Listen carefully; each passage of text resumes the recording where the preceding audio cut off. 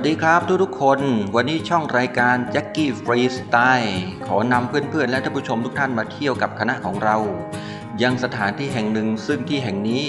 หากใครก็ตามที่มาเที่ยวสัตหีบแล้ว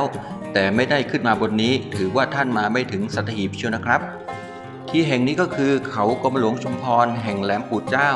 ที่เขาล่ำลือกันว่านอกจากจะมีสถานที่สิทธิ์บนนี้แล้ว ยังเป็นจุดชมวิวที่มองเห็นความสวยงามของท้องทะเลได้อย่างชัดเจนแจ่มใสมาก หากพร้อมแล้ว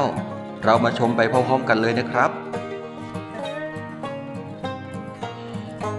บนเขากรมหลวงแหลมปู่เจ้านี้ถือได้ว่ามีจุดชมวิวท้องทะเลสัตหีบที่มหัศจรรย์มาก สามารถชมวิวความสวยงามของอ่าวเตยงาม เกาะพระ เกาะเตาหม้อรวมไปถึงสามารถมองออกไปทางท้องอ่าวได้อย่างงดงาม สามารถมองเห็นความโค้งความเว้าของชายหาด ที่ธรรมชาติสรรสร้างขึ้นได้อย่างชัดเจน จึงถือเป็นจุดชมวิวที่นักท่องเที่ยวต้องหาโอกาสขึ้นมาสัมผัสให้ได้นะครับ มีคำกล่าวที่ว่าจุดชมวิวที่สวยที่สุดนั้น มักจะเป็นจุดโพสต์ภาพที่สวยที่สุดเช่นเดียวกันนะครับ หน้าที่แห่งนี้จะมีจุดชมวิวที่สวยงามอยู่หลายจุดด้วยกันที่นักท่องเที่ยวสามารถเลือกโพสภาพเพื่อเก็บไว้อวดเพื่อนๆ และเก็บไว้เป็นที่ระลึกของเหตุการณ์ครั้งหนึ่งในชีวิตของตัวเราที่เคยได้มาที่แห่งนี้นะครับ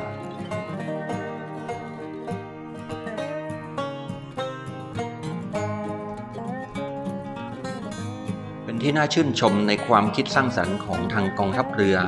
ที่รู้จักเพิ่มมูลค่าของเศษซากวัสดุที่ไม่ได้ใช้แล้วนะครับดังเช่นทุ่นระเบิดที่เราเห็นอยู่นี้นำมาประดับสถานที่แห่งนี้ได้อย่างลงตัวและสวยงามทีเดียว รวมทั้งปืนใหญ่โบราณที่เราเห็นอยู่ในขณะนี้ด้วยนะครับ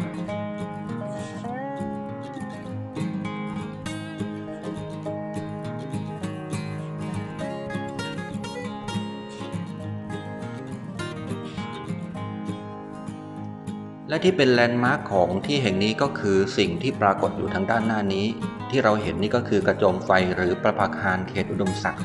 ที่สร้างขึ้นในรูปแบบที่เป็นลักษณะของเสากระโดงเรือ เพื่อใช้ประโยชน์ในการเป็นจุดแสดงทิศหรือเป็นจุดแสดงตำแหน่งของบนฝั่งนี้เพื่อให้เรือเดินสมุทรนั้นได้ใช้อ้างอิงตำแหน่งในการเดินเรือนั่นเอง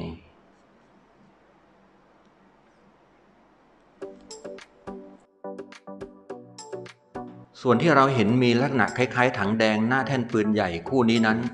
จะเป็นที่สำหรับจุดประทัดแก้บนสำหรับนักท่องเที่ยวที่มีความประสงค์ในการจุดประทัดแก้บน เพื่อป้องกันหรือว่าจำกัดมิให้สะเก็ดประทัดฟุ้งกระจาย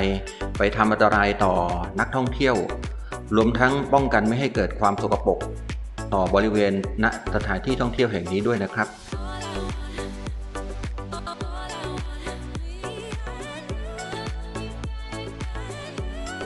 สาเหตุที่เราเรียกขานสถานที่แห่งนี้ว่าเขากรมหลวง และปู่เจ้านั้นสืบเนื่องมาจากว่า บนเขาแห่งนี้เป็นที่ประดิษฐานพระรูปเท่าองค์จริงของพลเรือเอกพระเจ้าบรมวงศ์เธอพระองค์เจ้าอาภากรเกียรติวงศ์กรมหลวงชุมพรเขตอุดมศักดิ์ที่ประดิษฐานในวิหารทรงจตุรมุขทางด้านซ้ายมือนะครับ พร้อมกับหลวงปู่สุข แห่งวัดปากของมะขามเท่า ซึ่งเป็นพระอาจารย์ของพระองค์นั่นเอง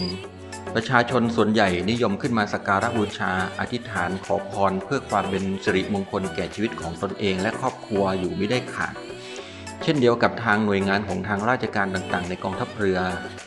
มักจะได้หาโอกาสมาทำพิธีบวงสรวงบูชา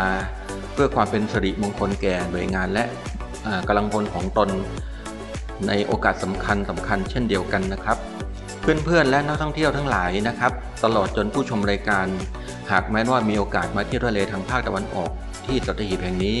ควรจะได้หาโอกาสขึ้นมาเที่ยวจุดชมวิวด้านบนนี้ และมาถวายสักการะบูชาพระองค์ รวมทั้งถวายสักการะบูชาหลวงปู่สุขแห่งวัดปากของมะขามเท่า เพื่อความเป็นสิริมงคลก่อนเดินทางกลับกันนะครับ เราก็ได้มาเที่ยวเขากำหลงแหลม ปู่เจ้ากันพอสมควรแล้วทางรายการขอกราบลาท่านผู้ชมไปด้วยเวลาแต่เพียงเท่านี้ ก่อนจากกันโปรดกดติดตามกดไลค์กดแชร์ให้กับคลิป และช่องรายการจะเป็นพระคุณอย่างยิ่งนะครับ ขอพรหลวงปู่สุข แห่งวัดปากคลองมะขามเท่า และบารมีแห่งเสด็จเตี่ยกรมหลวงชุมพรเขตอุดมศักดิ์โปรดคุ้มครองทุกท่าน ให้มีแต่ความสุขความสวัสดีตลอดไปครับ สวัสดีครับ